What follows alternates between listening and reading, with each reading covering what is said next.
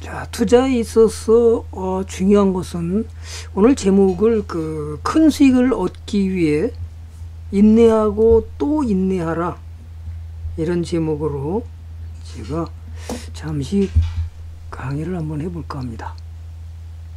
주식 투자에서 인내심은 상당히 중요하죠. 특히나 가치 투자에서는 더더욱 그렇고요. 어, 좋은 종목을 매수했을 때 사실은 대부분이 어, 참지 못해서 큰 수익을 놓치는 경우가 대부분 투자자들입니다.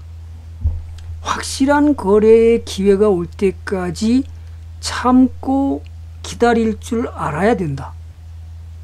조급히 시장에 잘못 진입하여 시간의 함정에 빠져서 다른 좋은 기회를 잃을 수도 있다.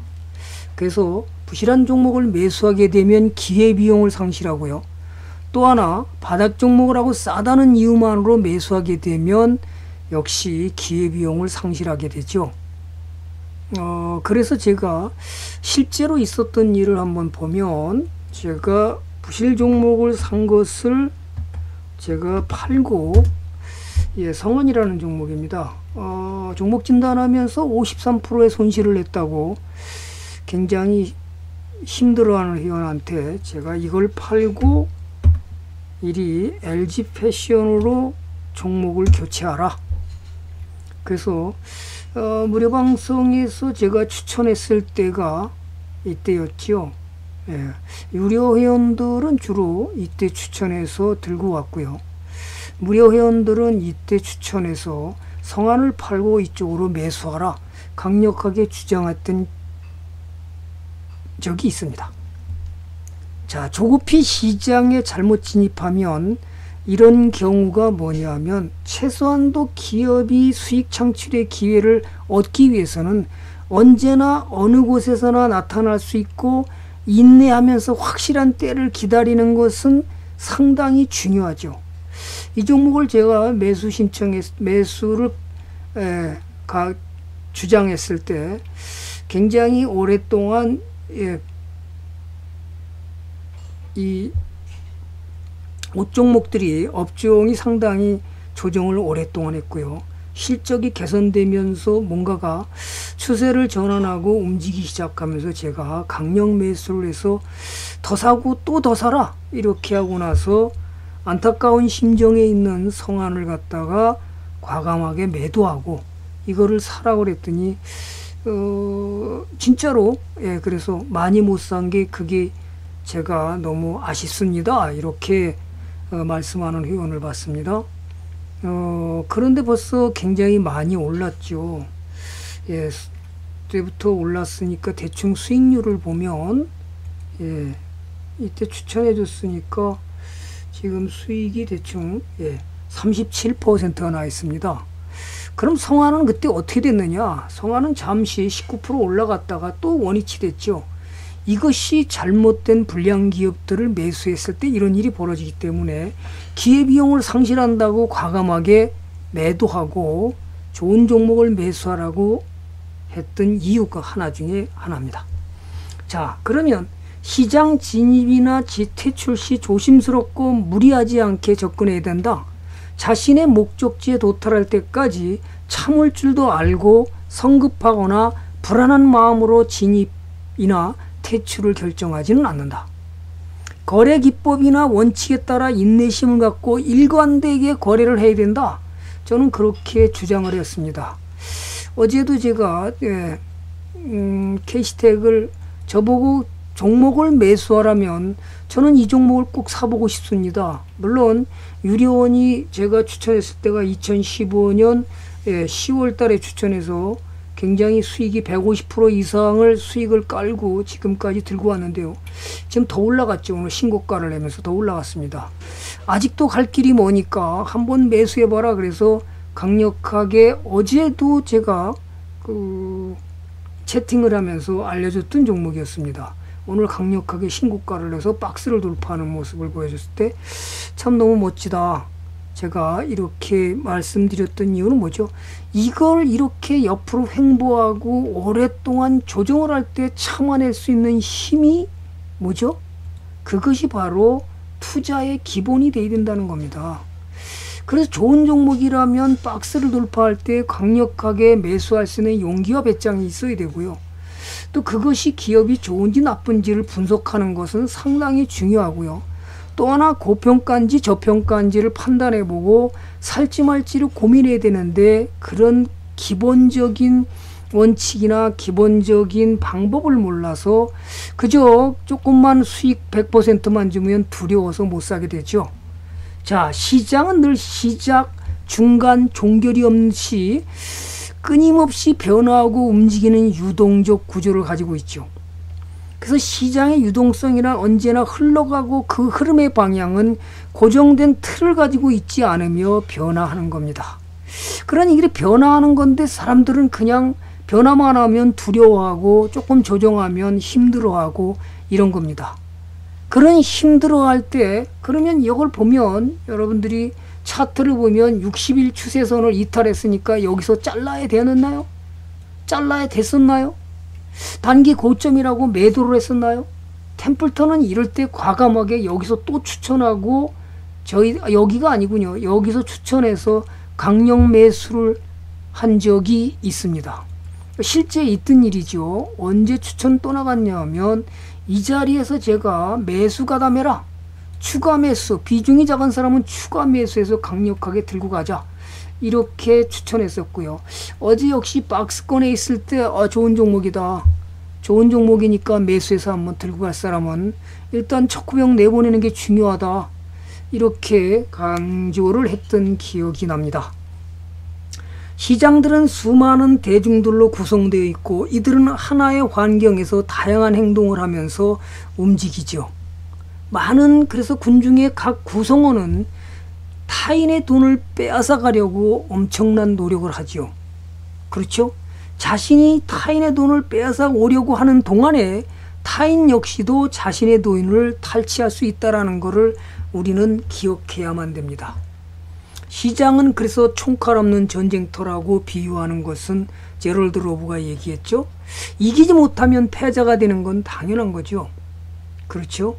예, 그래서 시장은 언제나 자신에게 기쁨을 주기도 하고 황홀한 자극을 주기도 하지만 이런 기대가 어긋났을 때 자, 종목을 추천해서 매수했는데 강하게 상승으로 가면 기대 부응했기 때문에 굉장히 기분이 좋을지 모르지만 만약에 기대가 무너지게 되면 고통과 좌절의 구렁텅이에 빠져서 배반과 패배감을 안겨주고 자신을 스스로 파괴할지도 모른다. 그죠? 시장은 자신이 존재하고 있는지 사실은 모르는데도 불구하고 우리는 그것을 다 아는 것처럼 아유 나는 시장에 들어가면 마치 상대방이 내 마음을 다 아는 것처럼 행동해. 이렇게 얘기하는 분들이 수없이 많습니다. 그래서 시장은 모든 종목이 작전과 그 다음에 큰 손들이 장난 속에서 나는 절대로 이길 수 없다라고 이렇게 평하는 사람도 간혹 극단적으로 하시는 분도 있습니다. 그러나 가장 더 중요한 게 있습니다. 기업을 좋은 기업이 꾸준히 돈을 벌고 있는 기업에 동업자 정신으로 갔을 때는 그런 문제를 벗어날 수가 있다는 거죠. 좋은 기업을 매수해서 차트 기법? 글쎄요. 물론 차트 기법도 당연히 중요합니다. 그러나 매수를 해서 내가 이미 들고 갔을 때는 고평가가 아니라는 확신을 하고 매수해서 들고 갔을 때는 그 다음에는 차트를 무시할 수도 있는 용기와 배짱이 있어야 됩니다. 왜? 고평가될 때까지 들고 갈 수 있는 배짱이 있어야만 큰 수익으로 가져가는 겁니다. 시장은 그래서 자신이 무슨 생각과 느낌을 갖고 있는지 알지 못하는 겁니다. 시장은 자신이 어떠한 행동을 하든 행동 결과에 대해서 어떻게 이루어지든 아무 관심과 책임도 갖고 있지 않습니다. 그런데 투자자들만이 자신이 시장에서 왕따 당하는 느낌이요.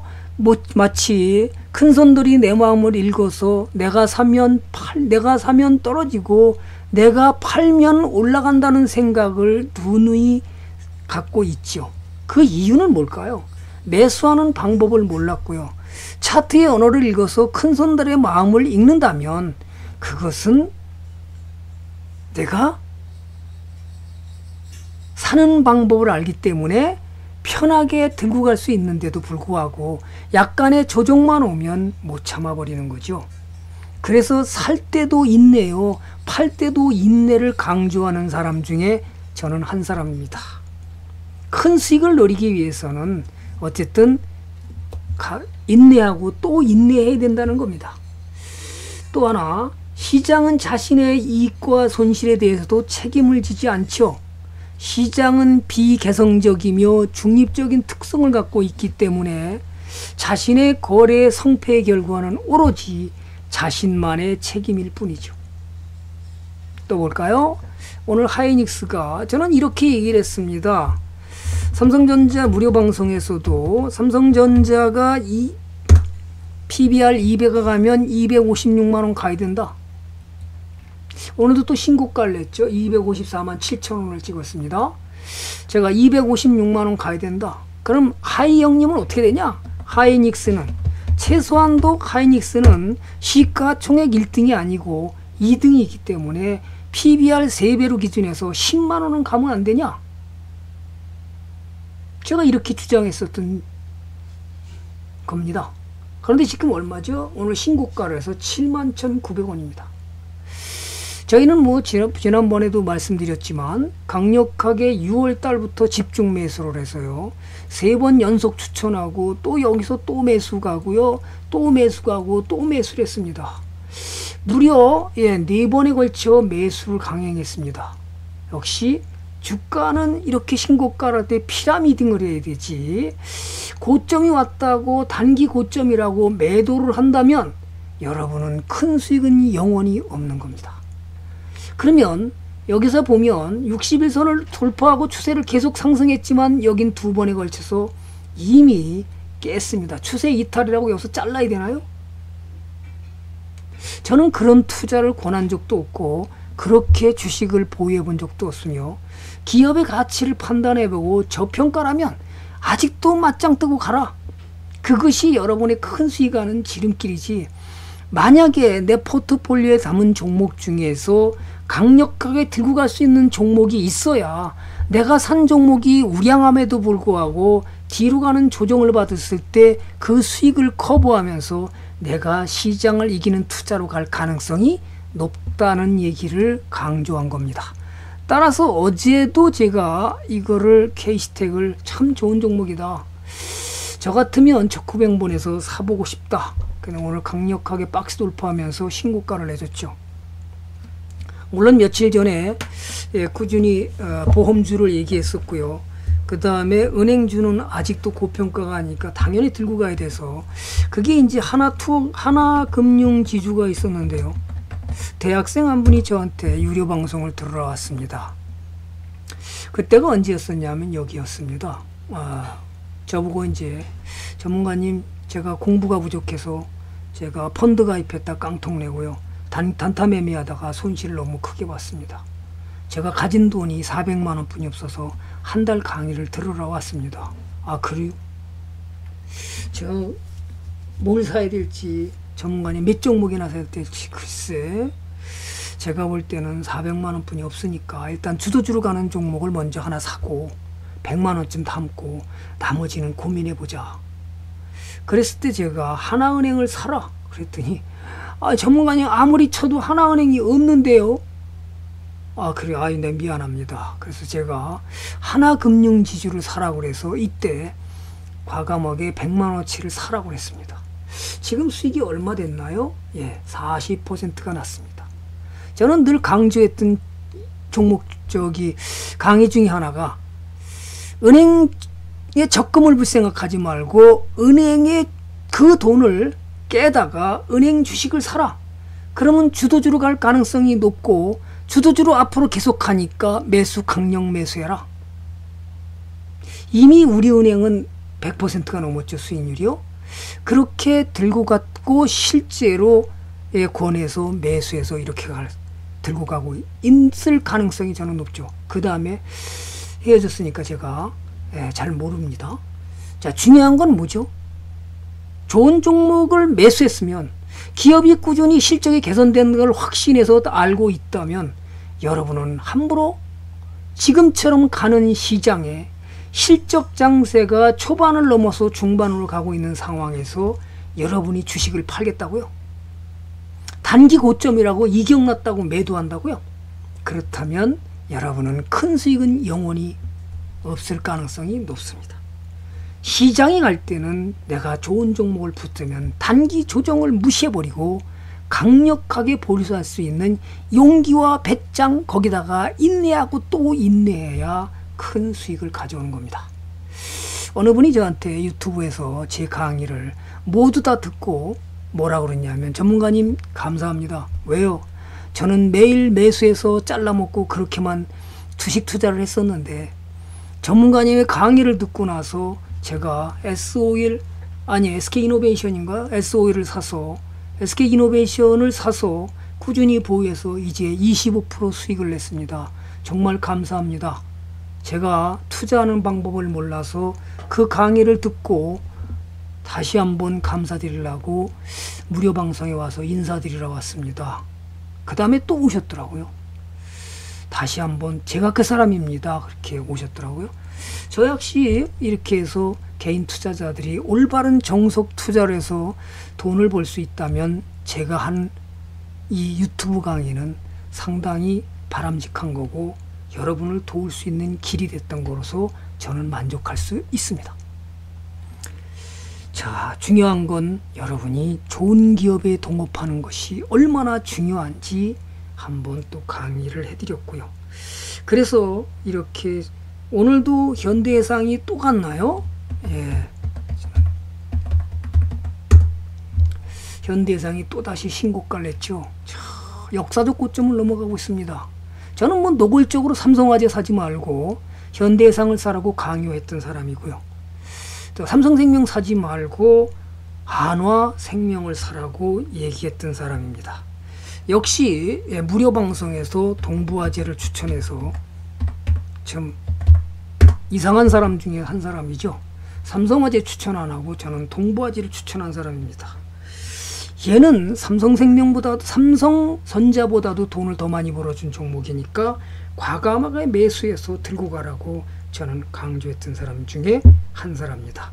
오늘은 삼성전자와 하이닉스 반도체가 강력하게 상승하면서 반도체 부품주들이 강력하게 상승해줬죠. 물론 우리 유리원들은 벌써 원이가 EPS가 200%를 넘는 수익으로 그냥 들고 가고 있고요. 오늘도 그 얘기를 하는 겁니다. 여러분은 어떤 투자를 해야 될지 투자의 올바른 방향을 알기 위해서는 정석 투자를 배우는 것이 무엇보다도 중요하고요. 짜릿한 상한가를 먹기 위해서 부실 종목을 매수하는 것은 저는 적극 지양합니다. 오늘은 여기까지 하겠습니다. 감사합니다.